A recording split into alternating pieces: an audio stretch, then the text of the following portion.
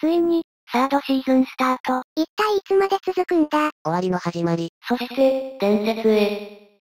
皆さんこんにちは。ゆっくり解説のレイムです。解説のマリサだぜ。今回は、ハイニューガンダムの解説になります。以前解説をしたが、なぜかご要望が多く、あの、兵器も立体化したので、今回、スペシャル解説動画として、作成したぜ。最近も立体化したり、様々な媒体で登場した。大人気の機体だしね。そうだな。今回は、ベルトーチカ、チルドレン版と、CCAMSV 版を、詳しく解説していくぜ。では、そろそろ、RX93 ニュー2、ハイニューガンダムの解説を始めるぜ。ゆっくり見ていってね。今回解説するモビルスーツは、X93 ニュー2、ハイニューガンダム、になります。ハイニューガンダムは、地球連邦軍の、ニュータイプ専用試作型モビルスーツになるぜ。ニューガンダムとは、色々違うのね。そうだな。機体カラーは、白と青、または、白と紫の2色を基調としており、機体の形状も異なっているが、大きな違いとしては、背部中央に、スタビライザーがあり、これはアンバックシステムと、スラスターとしての機能を、合わせ持つぜ。要は、ニューガンダムよりも、機動性と運動性が、向上しているわけね。そういうことだな。さらに、プロペラントタンク兼、スラスターユニットを2機装備。これにより、稼働時間の延長と、機動性を上げているぜ。要は、火力よりも、機動性重視型。ってことね。パイロットの意向が、反映した結果だろうな。そして、ニューガンダムと違う点としては、ファンネルラックを搭載。これにより、フィンファンネルを再装着して、リチャージが可能だぜ。プロペラントタンクやスタビライザー、そして、ファンネルラックなどを搭載したことにより、完成型のニューガンダムに見えるわね。そうだな。それは CCAMSV での設定だな。では、まずは、ベルトーチカ、チルドレンでの設定を解説するぜ。ベルトーチカ、チルドレン版のハイニューガンダムは、要は、小説版、ニューガンダムになるぜ。劇場版との違いは、どの辺なの？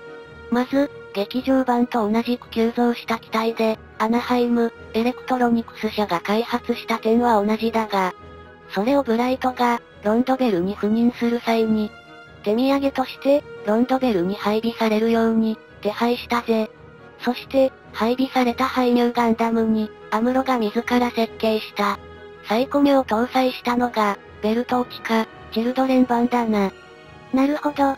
つまり、機体設計には、携わっていないのね。そういうことだぜ。そして、サイコフレームに関しては、フィフスルナの戦闘で、意図的にシャアが残していった、サイコ動画を露獲したロンドベル隊は、機体のコックピットフレームから、サイコフレームを直接切り出して入手したぜ。劇場版と全然違うわね。そうだぜ。それをベルトーチカが、ラーカイラムに運び込んだ。ハイニューガンダムのコックピット周辺に、直接補強板のように取り付けたぜ。これはより正確に、サイコミをコントロールできるようにするためらしいぜ。なるほど。この辺は、劇場版とは全く違うわね。そうだな。ただ、型式番号は、RX93 のままだぜ。媒体によっては、RX93 ニュー2となっているものもあり、これは、建造途中の仕様変更によって、ニュー2となったらしいぜ。要は、ニュー1は、存在しないってことね。そういうことだな。では、次は、CCAMSV 版、ハイニューガンダムを解説するぜ。CCAMSV 版では、RX93 の強化発展機として、開発されたのが、ハイニューガンダムになるぜ。ニューガンダムとは、別な機体、ってことね。そうだぜ。RX93 は、3ヶ月未満という、短期間で急増され、ろくなテストも行わずに、実戦投入されたぜ。サイコミョの調整も、途中でやめていたしね。その結果、アナハイム、エレクトロニクス社的には、RX93 は、まだまだ改良、発展の余地を残しているということで、独自に、改修計画を実施したぜ。この機体のコードネームが、ハイニューガンダムだぜ。なるほど。だから、強化発展機なのね。そういうことだな。まず、行ったのは、設計の見直しと、各種アビオニクスの更新。さらに並走も追加したぜ。しかも、基礎設計の修正には、アムロレイも参加したらしいぜ。え、そ、そんな時間なかったよね？これは、最近追加された、後付けだな。一体どういうことなの？そして、RX93 とは、違い十分なテストを重ねて、開発したぜ。ただ、そのテストを行ったパイロットは、不明だぜ。なんせ、サイコミュ関連の熟成も進み、より、完成度が、高まっているらしいからな。普通のパイロットでは無理よね。そうだな。他にも改良、回収した部分は、冒頭に述べた部分だぜ。サイコフレームに関しては、基礎設計を見直した結果、サイコフレームの再配置と、サイコミュとの接続方式が改善されたぜ。そう考えると、それなりのパイロットが、テストしたってことよね？その辺が、謎、だよな。なんせ、この排入ガンダムに登場予定だった、アムロレイは、第二次ネオジオン構想時に行方不明となったため、排入ガンダムには、登場していないはずだしな。あとこういったデータから、後の機体が、開発されたと思うと、なんとも言えない話になるな。うーん、ある意味、技術発展よね。ちなみにアナハイム、エレクトロニクス社は、ハイニューガンダム開発にあたって、対抗馬として、あのモビルスーツを開発したらしいからな。これはひどい。では、そのハイニューガンダムの、並走について解説するぜ。まず頭部には、バルカン砲、鬼門。後継などは不明だぜ。腕部には、マシンガン、を装備。肘には、交換可能な弾倉を備えているぜ。なお、別なバージョンでは、ビームガトリングガン、になっていたケースもあるぜ。RX93 にはなかった兵装ね。そうだな。ビームライフルは、形状は違うが、RX93 と同じもので、ビームサーベルは、ファンネルラックに、カスタムタイプを1本ずつ。予備のビームサーベルを、左腕部に1本装備しているぜ。合計3本のビームサーベルを、装備しているのね。そうだぜ。シールドは、2種類あり、裏面に、ビームガン用ジェネレーターを内蔵したものと、裏面に、ビームキャノンと、ミサイルを4発装備したものがあるぜ。うーん、ガングが発売した時期で、色々違うわね。ハイニューガンダムは特に、そういったケースが多いな。ニューハイパーバズーカは、RX93 と同じもので、口径は、280mm になるぜ。さらに、フィンファンネルも、RX93 と同じものだが、再装着をして、消費したプロペラントや、エネルギーを充填して、再使用することが可能だぜ。多分これが、本来のフィンファンネルの使い方よね。使い捨てをするには、問題がありそうだしね。そうだな。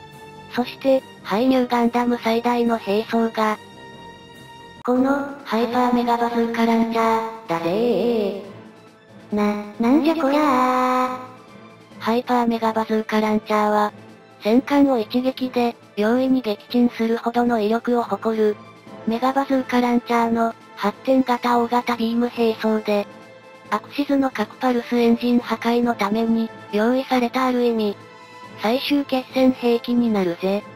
でかすぎんだろ。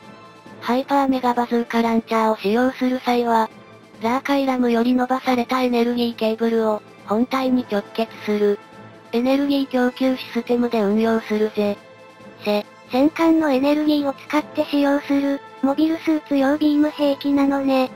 それだけじゃないぜ。え、発射のためには、莫大なエネルギーを消費するので、供給を行う際には、ラーカイラム艦内の照明が、一瞬切れるほどだぜ。その分、圧倒的な威力を発揮するのが、この、ハイパーメガバズーカランチャーってことだぜ。なんだろこれってさ、ハイパーメガ粒子砲に近い兵装よね。この時代でモビルスーツが使用可能な、限界兵器だろうな。ただ、問題ももちろんあり、長距離狙撃を行うため、高いニュータイプ能力が必要でさらに、長く伸びたエネルギーケーブルが、無防備という弱点もあるぜ。うーん、そういった意味では、排入ガンダム専用兵装よね。実際、敵からの妨害を受けて、核パルスエンジン破壊は、失敗しているしな。なお、ゲームなどで登場した場合は、フィンファンネルバリアを展開して、ビームを発射する場合もあるぜ。さらに、漫画版ベルトーチか、チルドレンでは、デザインが変更されており、ドッキングアームで保持して、右肩に担ぐ形で、発射するタイプになっているぜ。現在では、ハイパーメガバズーカランチャーは、2種類あるってことね。まあ、それを言い出すと、ハイニューガンダム自体のデザインなどは、大量にあるんだけどな。一体どういうことなの？ハイニューガンダム解説いかがでしたか？前から要望があった、ハイニューガンダムを解説したぜ。